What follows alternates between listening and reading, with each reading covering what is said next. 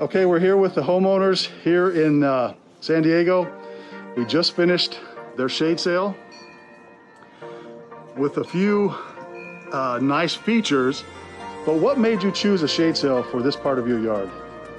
Uh, for the uh, for the shade, for more use of the yard, uh, keep the cars out of the sun. Uh, I can do my woodworking underneath it. We're always outside. We knew we wanted shade.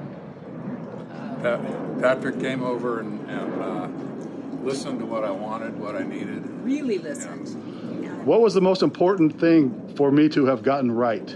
If there's one thing. The, co- the coverage and what I what we You wanted it to do. You listened. Yeah, That- that- Thank you. That's huge. yeah. Yeah. So if you had it to do all over again, what would you do differently?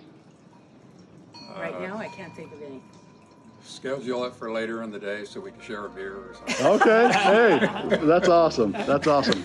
Thank you guys very much and have uh, many years of, of shade. Thank you. Stay cool. Yeah. Oh.